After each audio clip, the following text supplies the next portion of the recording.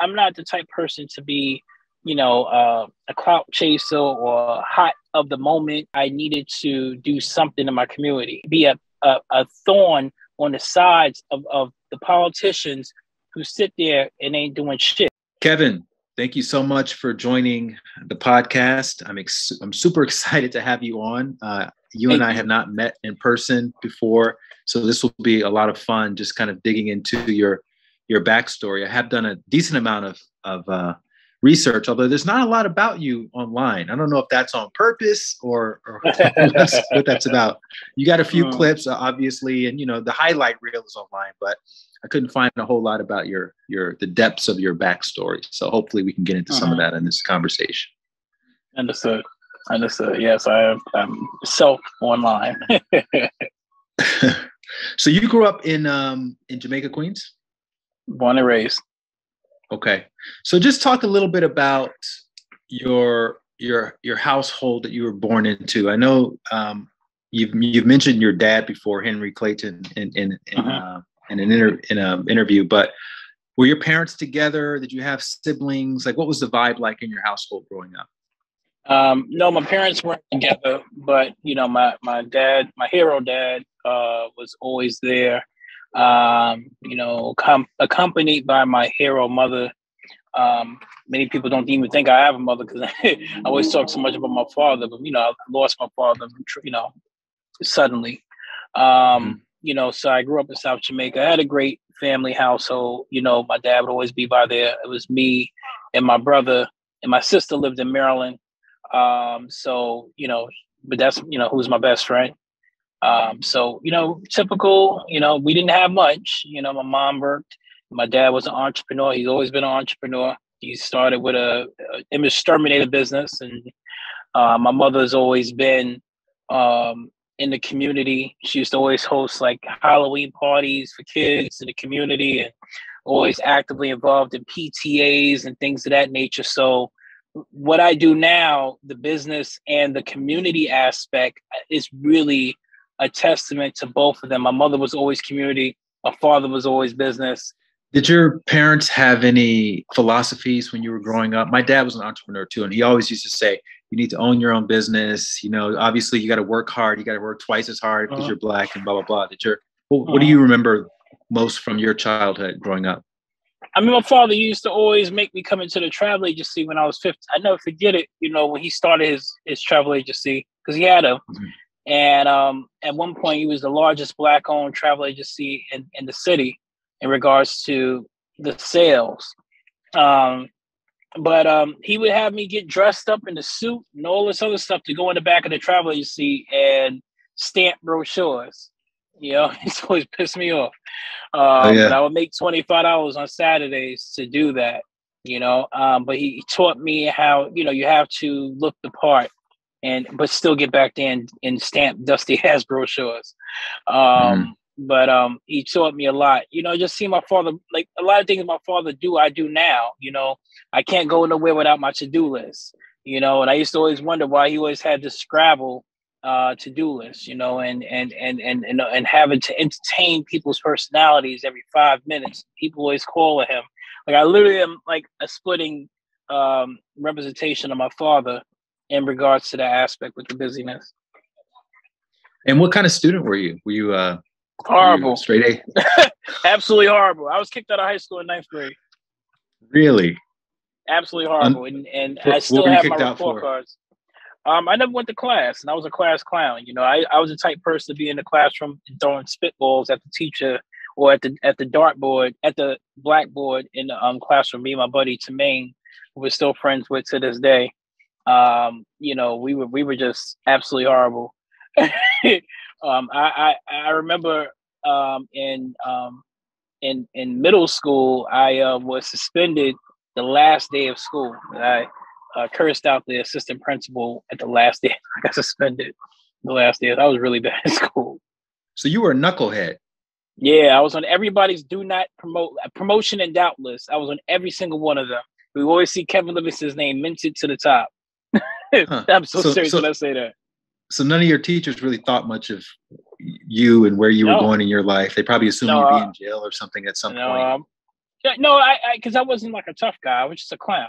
You know, so. I don't think they would think that I was in jail, but you know, I didn't think you know because I was I was a typical statistic. You know, I I had two kids before the age of twenty. You know, when I left school, um, you know, I had my I was six, I was seventeen when I got kicked out of school.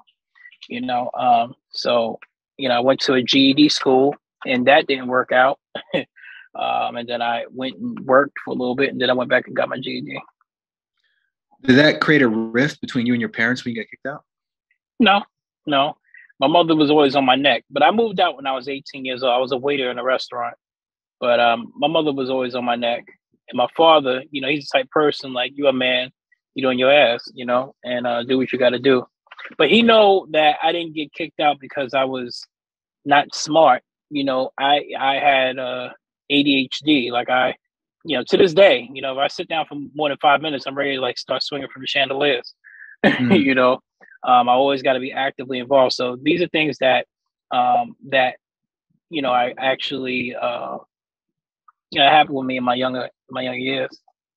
But that was undiagnosed. Obviously, you didn't know. Nobody knew about ADHD back then.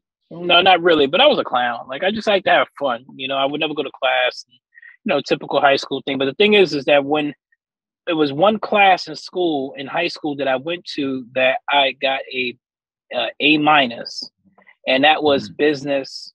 Business. It was a business course. I forgot which one it was, but or introduction to business. One of those two. And um, I, I I aced that class, and then I went and I was a part of a um, a club. It was called Future Business Leaders of America. Bad as I was mm-hmm. in school, I still got my transcript from high school, like all 46 is average. But I, I, I rejoined this club and I wound up becoming the president, this the vice president of that club.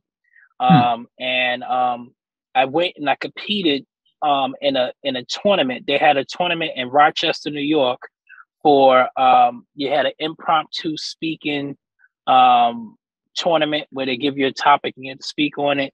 And I wound up placing second in all of New York City in that tournament in terms of impromptu speaking about, you know, speaking about what I want or whatever have you.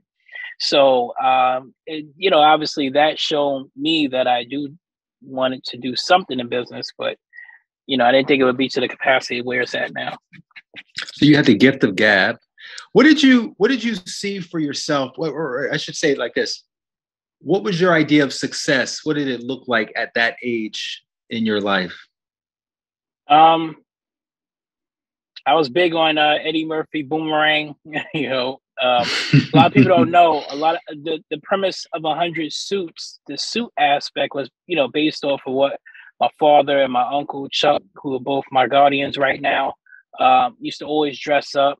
You know, and always talking about the importance of getting dressed up. My father, when um, when Easter came around, he always bought us brand new bright ass suits.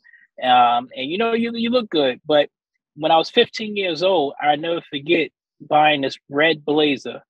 Um, it was based off the movie Boomerang with Eddie Murphy. So it's 1992. Don't forget it. And um, we, I was able to buy this blazer, and um, it matching socks, and it was a mock turtleneck. No, no, it was a tie that goes with it. And um, I, I went and I used to walk around 34th Street and just ask for jobs. At 15 years old, I never forget that. You know, I because I, I, remember how I felt in the suit. That you know, um, that's a story that I never forget. You know, getting on the train and riding around, walking around Manhattan, and I thought I was, you know, somebody. And then I met this guy. There's a Jewish guy named Julius Gross. Um, he had an office in um, Pennsylvania Plaza on 34th Street. Hold on a second, honey. He had an office in Pennsylvania Plaza, and I I was able to create a friendship with him. You know, he um, you know, he was an older Jewish gentleman, and you know, he he was just nice. You know, he he see me walk around. He said I look nice, and you know, he just sit down and we'll, we'll build a relationship and things of that nature. Um, you know so that that was that was that was something that um i did when i was 15 what did you learn from uh, mr gross it's not so much i learned from no it's not so much i learned something from him it was just he opened up to me like he opened his doors. He allowed me to see his office, and you mm-hmm. know, I felt like I had a friend in Manhattan. And then I went ahead and got um, Summer Youth, and then I started working at a partnership for the homeless. That was my very first job outside of my father. Um, I was I was working with them in summer internship in Manhattan on 27th Street. I never forget it. I used to think I had my own office because I had a desk there. I never forget that. Partnership for the homeless. Shout out to them. Did you ever have any relatives that spent time in prison or or in gangs? No. Mm. no. Okay. Did you live around? Because I want to kind of cut to 2011 now, 2010, 2011. You're working at Carver Bank. Yeah, no, um, it wasn't based. It, where I'm, where the office was located, and and uh, you know, I'm surprised to give a car for that much credence. Um, the bank I used to work at, um, they they doubted me in the beginning. I'll tell you that right now. I got written up and everything else.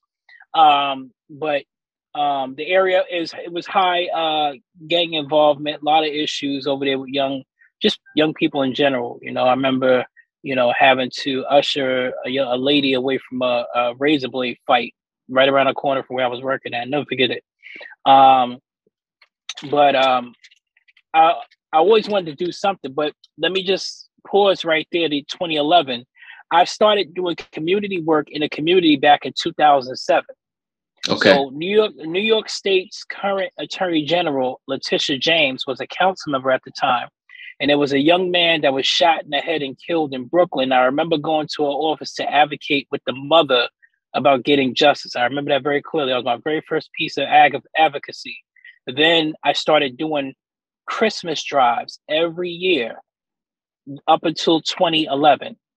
So, Wait, so, so can, hold on a second. You you read the article about the guy getting shot, and then just on your own, you went to the guy's mother's place. Yeah, and I reached out and asked her if I could help. And I remember sitting at Letitia James, who's now the Attorney General office back in 2007, and you know trying to advocate uh, advocate for his uh, justice.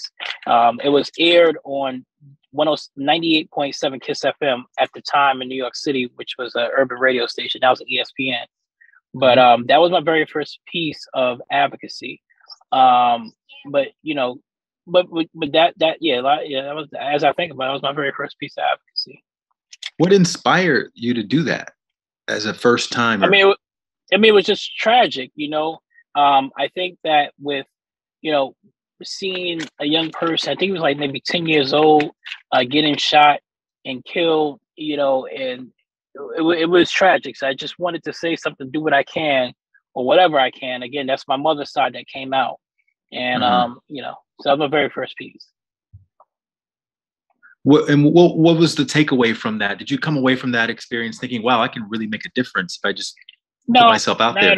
No, not at all. It wasn't even about me. I just got pissed off about what happened.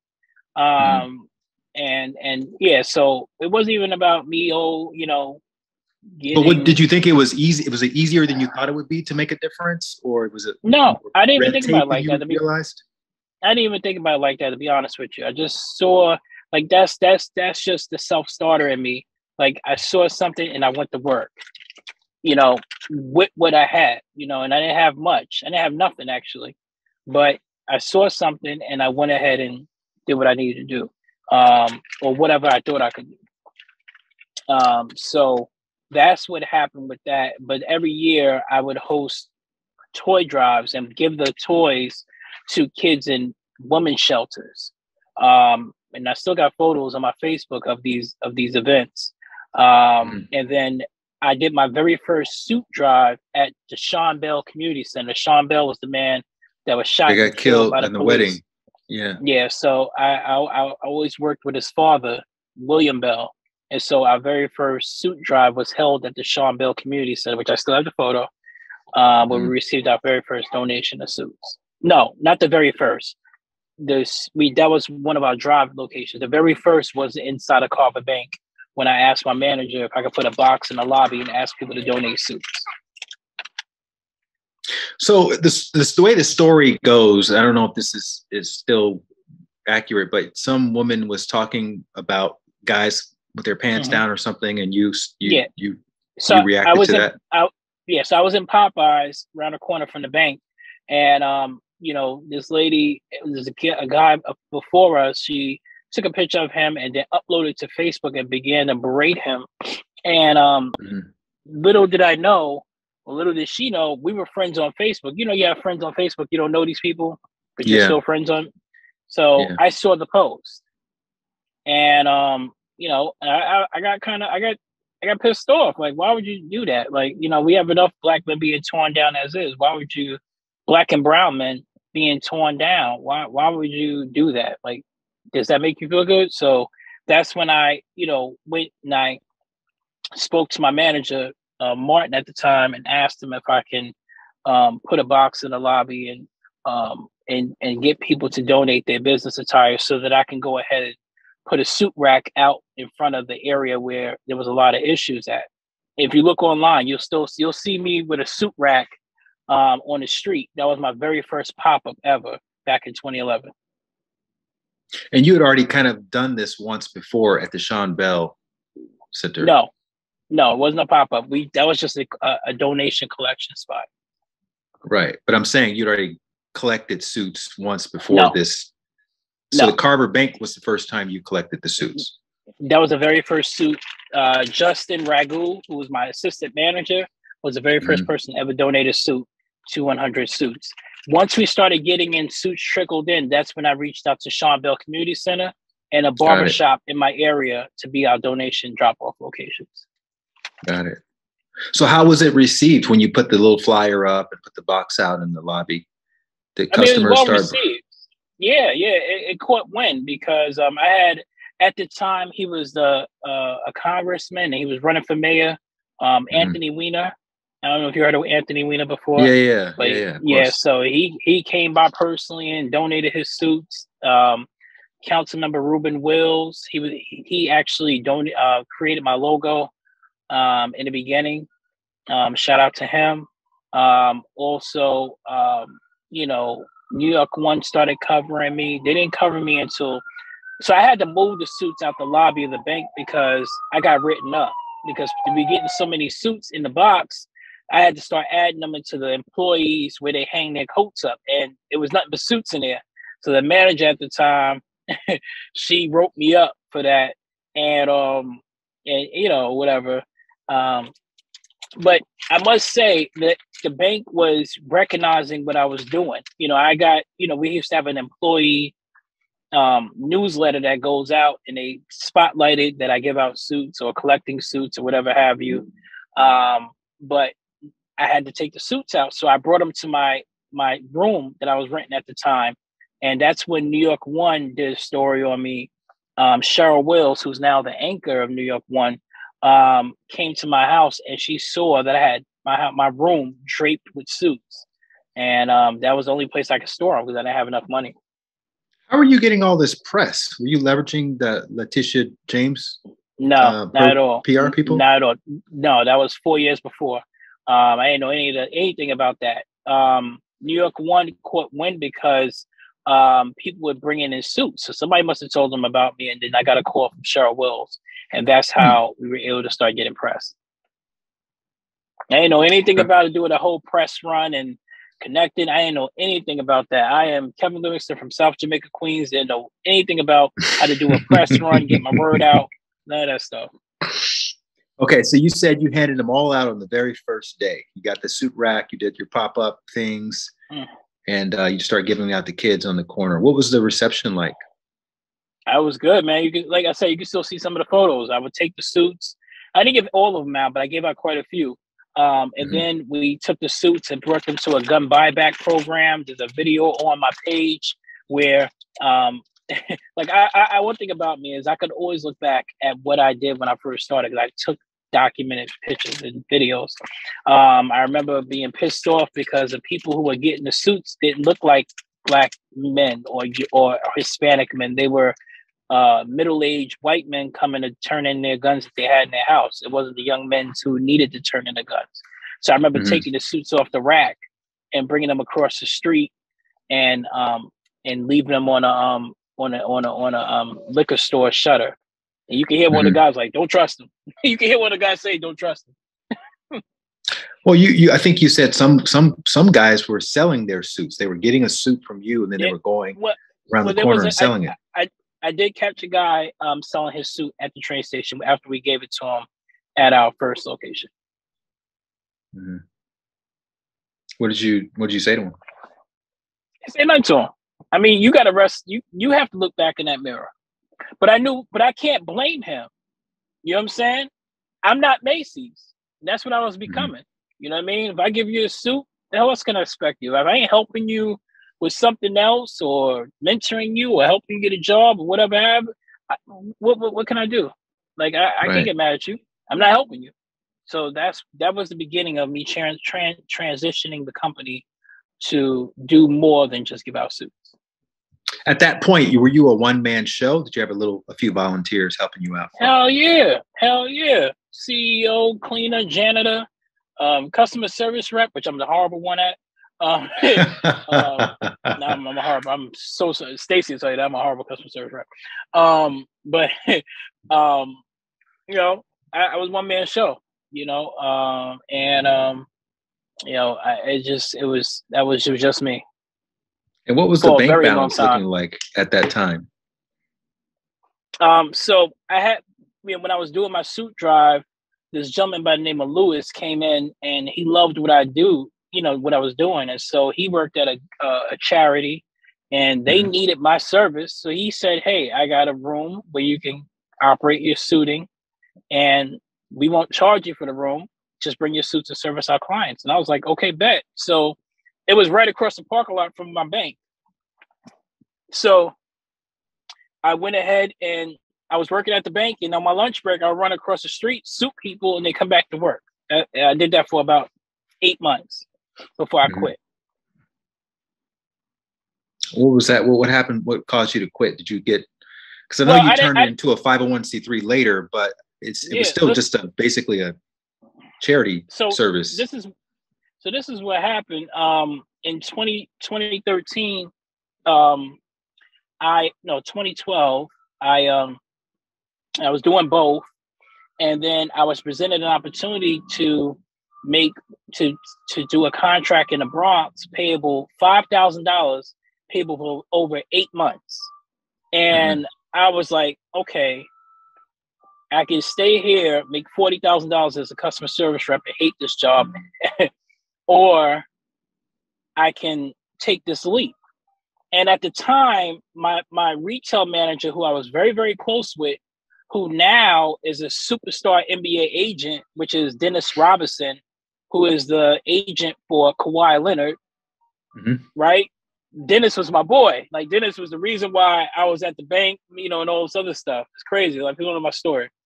Um, so anyway, Dennis was leaving as well because Kawhi. I think Kawhi got drafted, and you know he was picking up momentum in the league. So Dennis was leaving to go to San Diego, where where Kawhi is from, and um and so I I I I got tired of the bank, and I said, you know what, I'm not coming back. So I I let them fire me so I can collect unemployment, so I can have me something to sustain myself while I'm doing this entrepreneurial leap and I took that five thousand dollar check and fail.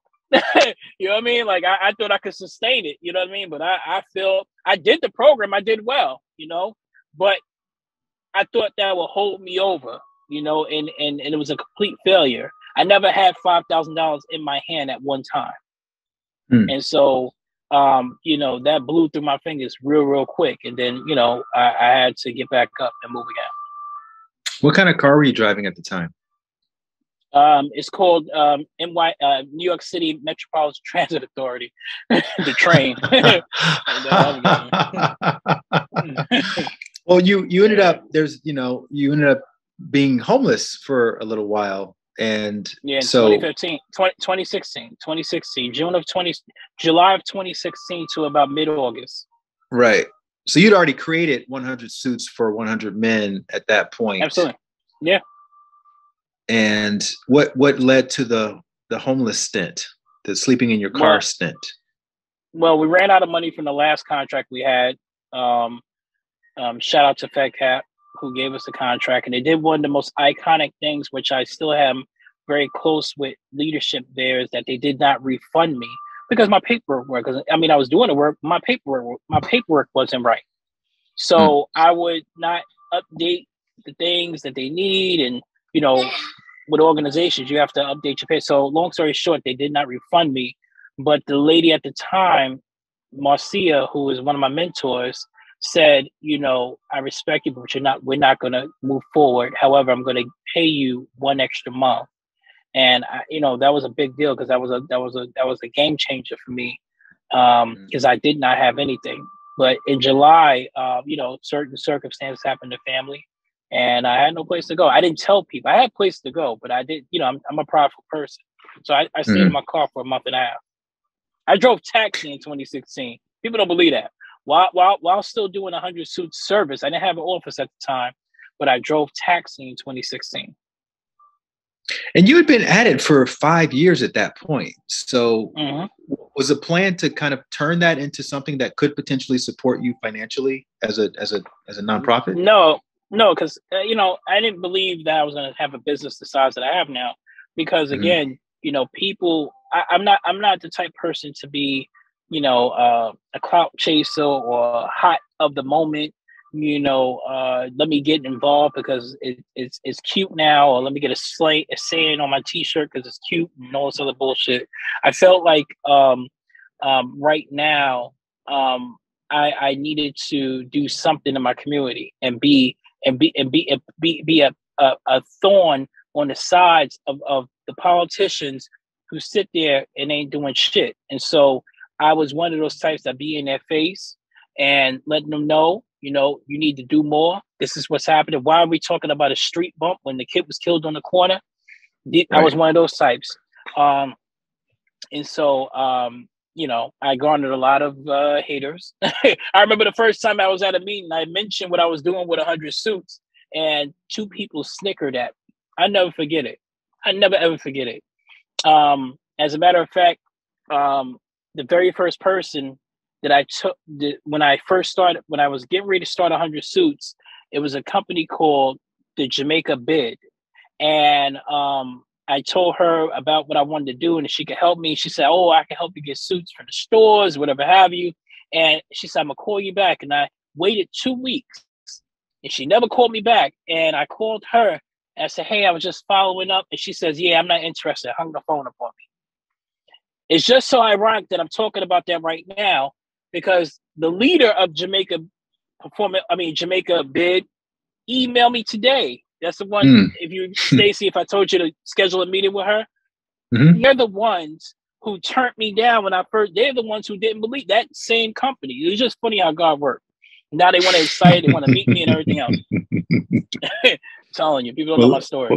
Uh, so, so at uh, that time, were you trying to get your friends to help you, or, or um, how did they see what you were doing? Your closest friends or even your family, what did they think about what you were doing?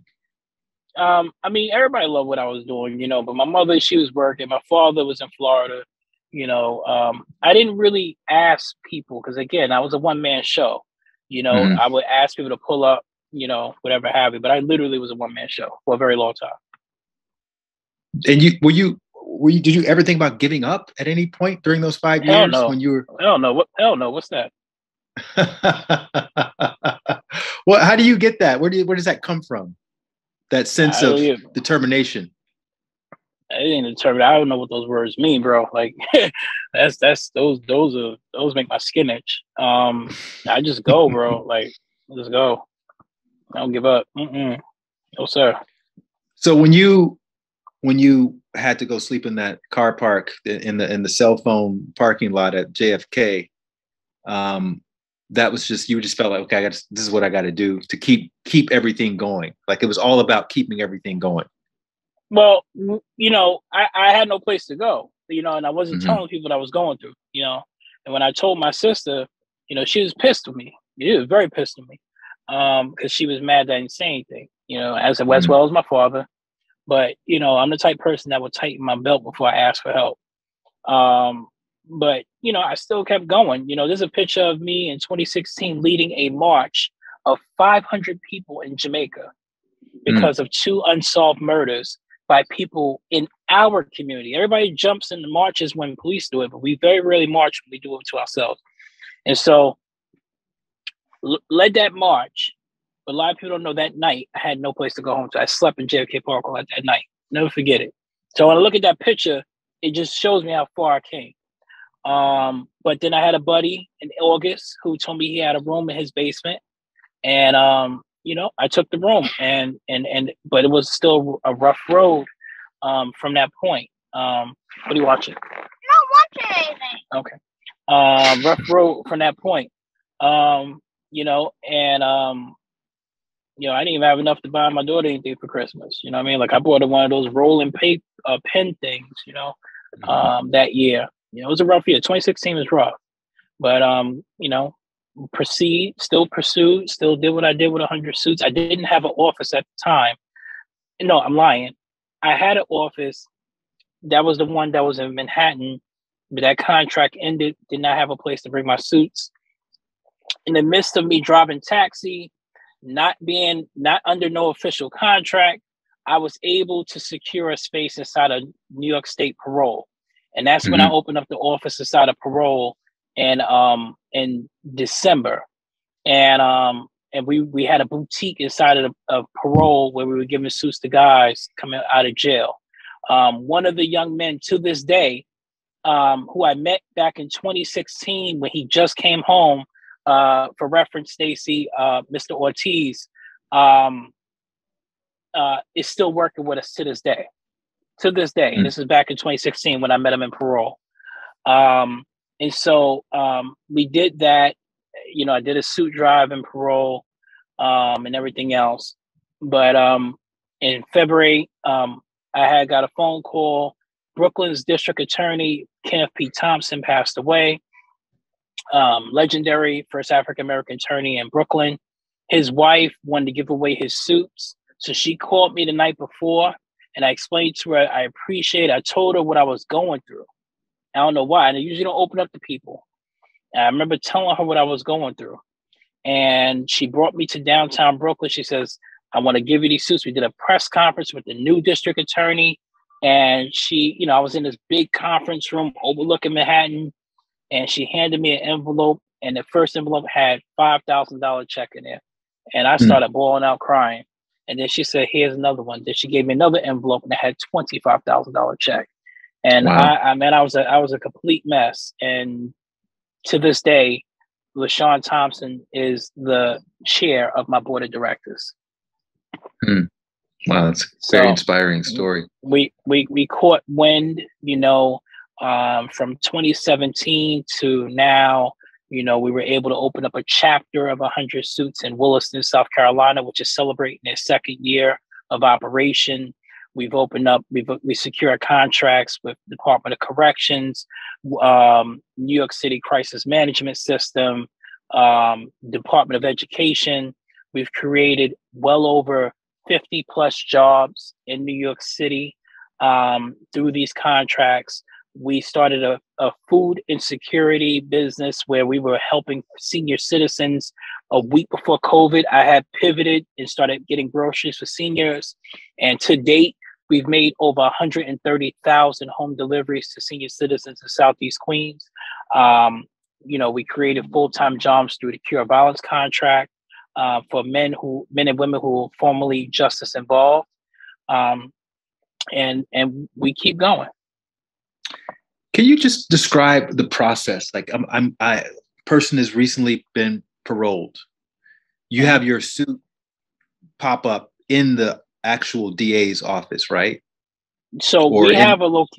No, so we have so when they're paroled or released from incarceration, we have God bless you, honey. We have reentry mentors who work with them. So they are contacted. We bring them in. We do an assessment, and then we plug them away with services. So I have in Jamaica, my office is in Jamaica. I have four reentry mentors who work with men and women 25 and older who have been incarcerated. Then I have three reentry mentors who work with young men 14 to 24 who have had criminal justice involvement. That's outside of what I do with the cure violence piece. So, you know, we, we, we have a lot of hands in the in, um, in the justice involvement system. How does it work? How do, do they get a suit? They get a stylist. They get. Um... So suiting is just a carrot. Like literally, yeah. that's you know I always say that. So we, we work is that they meet with the reentry mentor. We find uh-huh. out what are their needs. Um, do they have um, job needs? Do they have families? Uh, uh, right now is that we're working on a, a, a very first um, male baby shower. So this is going to be for men who have had justice involvement who have children on the way. We're going to have a baby shower for them so that they can feel the love and support that they deserve. And they'll be able to take care of their families. Beautiful. So, how did you get on the radar of Steve Harvey and Colin Kaepernick and these kind of guys? There are a lot of men are being beaten up, and I feel it's our responsibility to do what we can to pour into them to build them back up. Mm-hmm. Well, you've also received support from some pretty big, big names out there. How, how did that uh-huh. all come about? Um, Steve Harvey, they emailed me. Um, Colin Kaepernick, um, they reached out to me. You know, that's my brother right there. Um, mm-hmm. Colin's my brother. Been, been rocking with Colin going on five years now. Um, wow. uh, Akil Salam, which is another director.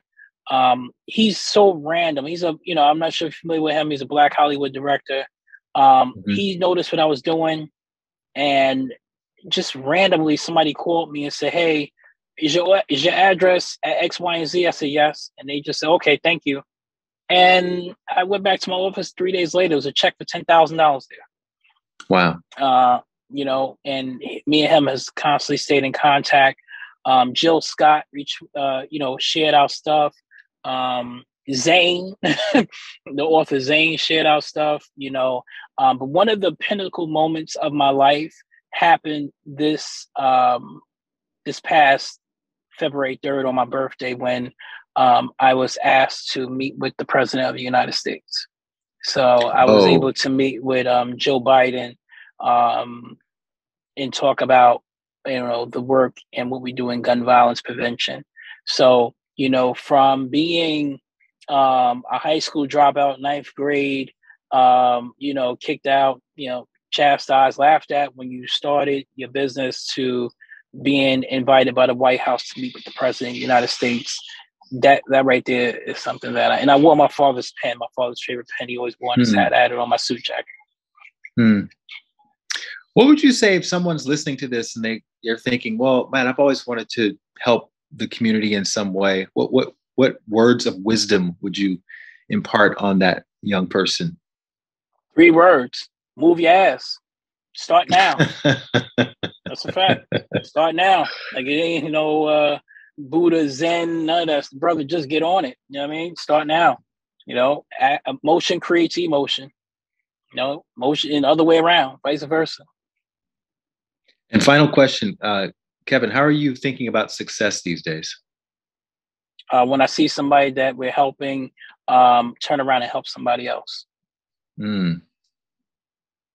If you like that video, you're going to love the next one. Click this thumbnail right here, and I'll see you over there.